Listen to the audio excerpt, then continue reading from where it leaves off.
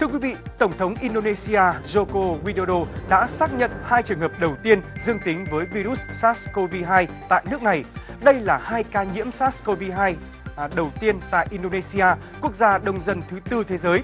Phát biểu trước báo giới, Tổng thống Indonesia cho biết hai bệnh nhân hiện đang được điều trị tại các cơ sở y tế trong tình trạng sức khỏe ổn định.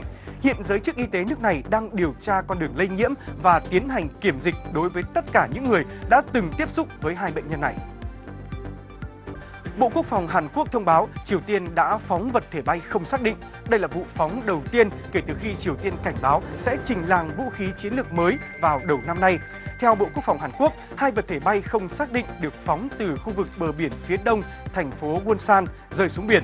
Trước đó, nhà lãnh đạo Triều Tiên Kim Jong-un đã thị sát một cuộc diễn tập quân sự vào cuối tuần qua.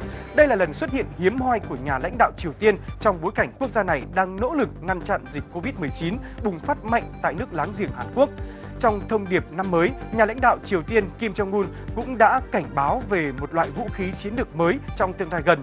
Giới chuyên gia nhận định vũ khí khí chiến lược này có thể là tên lửa đạn đạo liên tục à, liên lục địa à, tiên tiến hay tên lửa đạn đạo phóng từ tàu ngầm.